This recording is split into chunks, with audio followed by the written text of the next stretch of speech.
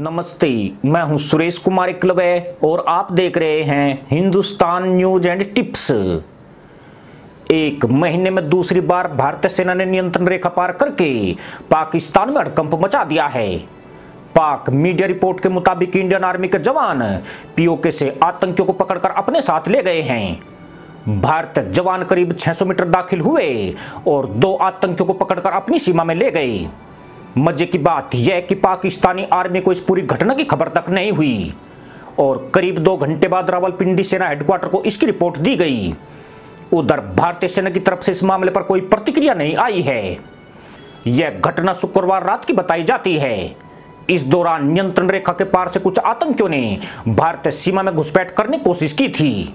भारतीय सेना ने इस घुसपैठ को नाकाम करते हुए दो पाकिस्तानी आतंकियों को हिरासत में ले लिया। हालाँकि अभी तक सेना की तरफ़ से ऐसी किसी कार्रवाई की पुष्टि नहीं की गई है। मगर पाकिस्तान में इस घटना पर हाय तोबा मच गई है। एक महीने पहले ही सेना के जवान नियंत्रण रेखा के पार जाकर कई आतंकियों को उठाकर लाए थे। हालाँकि तब पाक फौज को इस पूरे मामले की खबर मीडिया द्वारा ही मिली थी।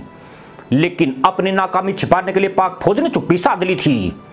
इस बार भी अपनी किरकिरी से बचने के लिए बाजवा की फौज कुछ भी बोलने से बच रही है।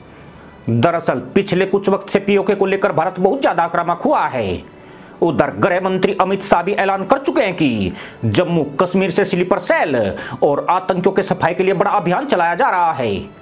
भारतीय सेना के टारगेट पर सिर्फ़ घाटी के मुसलमान आतंकी ही नहीं हैं। उनकी पनागाहों पर भी सीधा एक्शन लिया जा रहा है।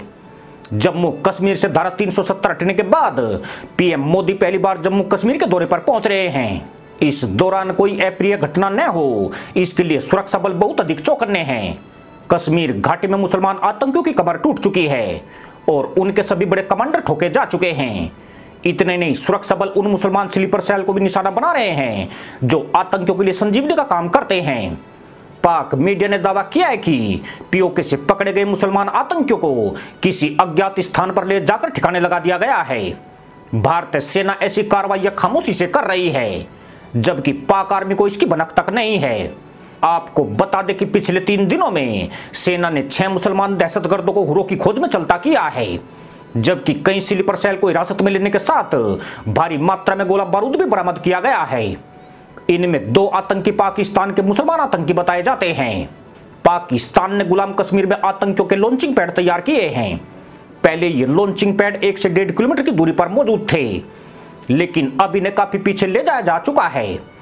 पाक फौज को डर है कि इंडियन आर्मी आतंकियों के ठिकानों को टारगेट पर ले सकती है। पर भारतीय सेना ने पिछले कुछ महीने से अपनी रणनीति में बड़ा बदलाव किया है। आतंकियों के भारतीय सीमा में घुसपैठ करने से पहले ही सेना या तो उन्हें सीमा पारी ढेर कर रही है, या फिर स्पेशल दस्ता नियंत्रण रेखा के पार जाकर उनकी धरपकड़ कर रहा है, जिन्हें पूछताछ के बाद उनकी आखिरी मंजिल तक भेज दिया जाता है। भारतीय सेना की रणनीति कारगर साबित हो रही है। इससे न सिर्फ़ सीमा पार के आतंकियों में हड़कम मचा है, बल्कि घाटी से आतंकी ट्रेनिंग लेने जाने वाले मुसलमानों को पहले निपटाया जा रहा है। यही वजह है कि अब सीमा पार से घुसपैठ की घटनाओं में काफ़ी कमी आई है।